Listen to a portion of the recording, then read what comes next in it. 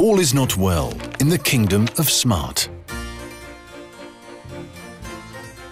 We are broke, my lord, and in the south, several dominions are getting desperate. What are we to do? Place a tax on cows, sire. No, no, a tax cut for millers. We should build a new cathedral. How about closing the borders? What do you have to say? Uh, Speak up.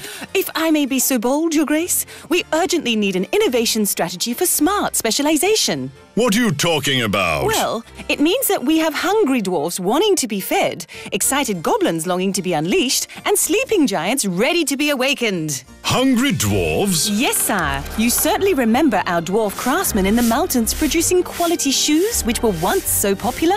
But now, people buy cheap shoes and the dwarfs are struggling. Offer them a new challenge. Help them join forces with the artists, goblins, and young engineers, and they could do great things again. Okay, okay, but what about the goblins?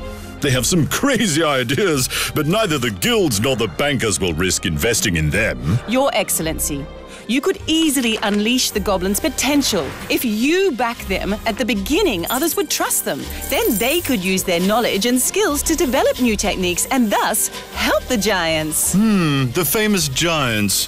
Why are they sleeping? They fell asleep because they haven't noticed the world is changing and needs new ideas. We need to wake them up.